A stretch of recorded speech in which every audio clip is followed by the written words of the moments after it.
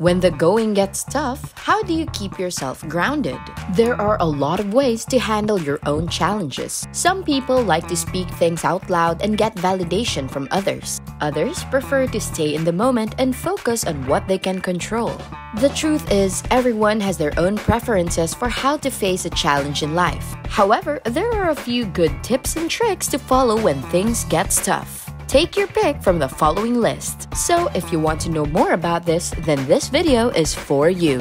For today's video, exclusive for our Manna members, we are going to talk about the 10 ways women can overcome any obstacle. So without further ado, let's get into the video. Do you know what's tough? Really tough? It's the kind of challenge that makes you want to give up, and sometimes it feels it will never end. But then you find a way through and your resilience shines through. You've learned how to bounce back from obstacles and setbacks, and you're better for it. That's what strong women do. They don't let obstacles get in their way. They figure out how to make the most of them. They develop grit and tenacity by facing their challenges head on, not running away from them or pretending they don't exist. What can we learn from strong women? Here are 10 things. The first one is to make a plan. When you're in the middle of something, sometimes it's hard to see the bigger picture. But when you look ahead, you can make better decisions and be more prepared for whatever may come. It can be hard to think about the future when you're busy with your day to day responsibilities. But if you have time on your hands and are willing to take a step back from your current activities, then there are some things that can help you prepare for what's next. One way to do this is by assessing the patterns in your life and seeing what challenges you have struggled in within the past. Then, make a plan for how these might play out in the future so that all of your time is spent on what matters most. This will help everyone involved to get through any situation with greater ease. The next one is to know that you are not alone. No one is alone in this world. There's a sense of community with us all, and that's what makes life so beautiful. The truth is that every human being has their low points. Some may handle or even hide them better than others, but no matter what you're going through, there are others who have been through it too. You are not alone. Try to reach out to your community and network. Speak your feelings and express your concerns in all settings of your life. The third is to ask for help. You are not alone. You can find help. There's no need to feel ashamed for asking for help. Whether you choose to rely on a loved one, a stranger, a mentor, or a friend, there are people who want to help you succeed. It's important to know that there are people who want to help you succeed. You don't have to do this all by yourself. You might be thinking, but I don't know anyone. No worries. You can start by asking your friends or family members who they think would be the best person for you to help talk with about your problems.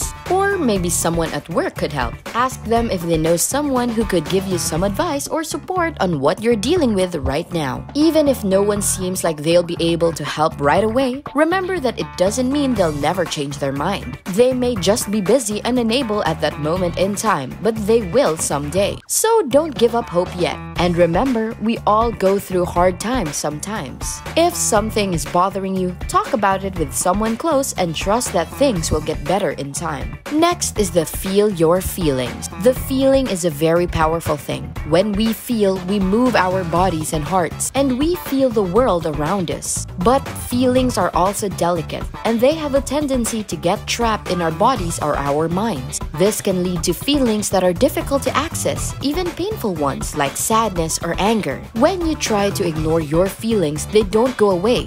They just stay stuck inside of you, growing in size and intensity until they burst out of you in some form of self harm or self destruction. But it doesn't have to be this way.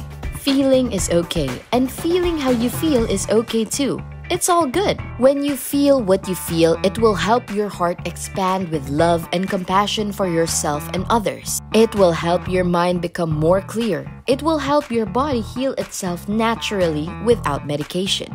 And when this happens, guess what? There won't be any more self destructive behavior because there won't be any more negativity left in your system. Another one is to accept support. Asking for help is only one side of the coin. On the other side of the coin, you have to be open and willing to accept support. People who come to your aid truly do care about you. Be open to receiving help when you need it. There are so many times when we feel like we can't ask for help because we don't want to appear weak or needy.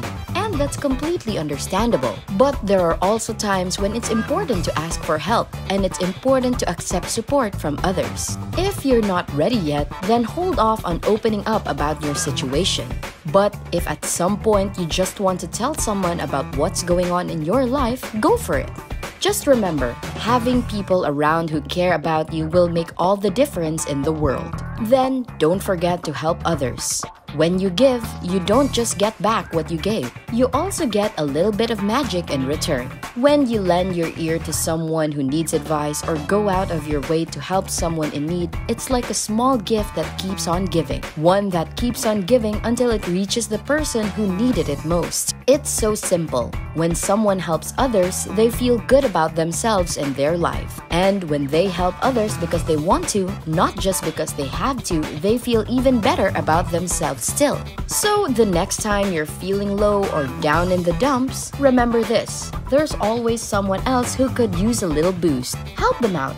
You'll be surprised at how much better things will seem for yourself. The seventh way is to think big. Success is not always about the outcome, it's about the process. It's about taking risks and being willing to fail. You've heard it before. If at first you don't succeed, try and try again.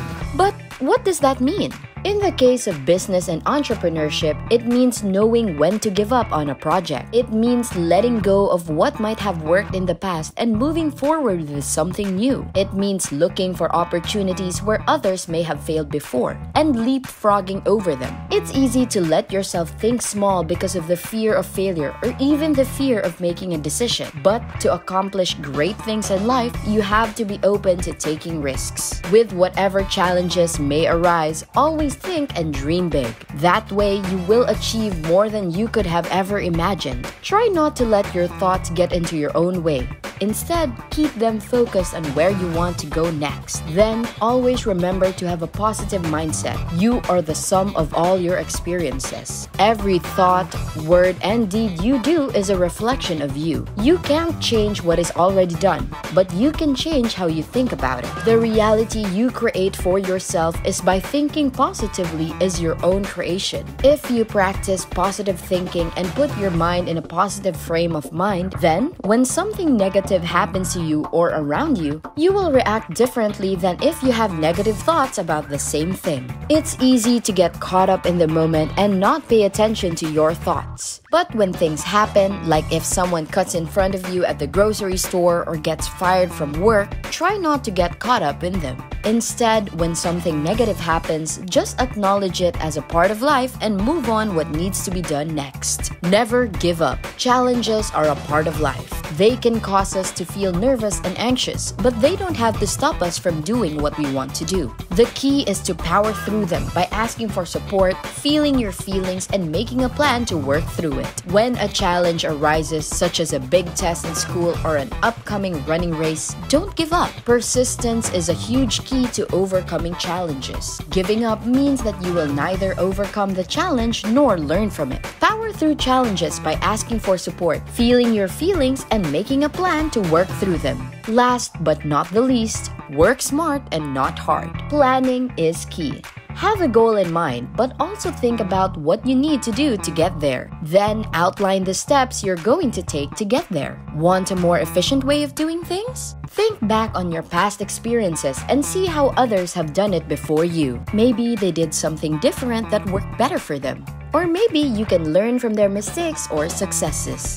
Think about what skills or resources you have available to make things easier for yourself. Maybe you don't have any money or time, but maybe there's someone who does. Maybe there's a skill set that your company needs but doesn't have yet.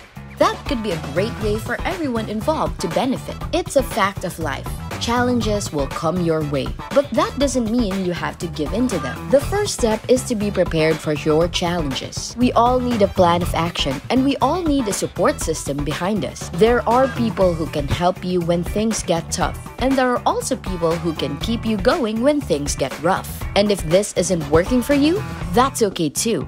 You don't have to be perfect in order to make it through the day. Just remember that there are people who will be willing to pick up the pieces and they won't expect anything from you except the best version of yourself. There you have our Manna motivation video for today. Don't forget to subscribe to our channel, click the notification bell, and like this video. If you think that we have delivered value, please share this video with one person. Just one share is enough for you to show your appreciation for the commitment and hard work that we all put together in creating this video that teaches and helps you on your mission of building your own fortune. And you don't know that one share could go a long way. And keep in mind that no matter how many times you're going to watch this video, you won't see any results unless you take action. Goodbye and see you at the next one.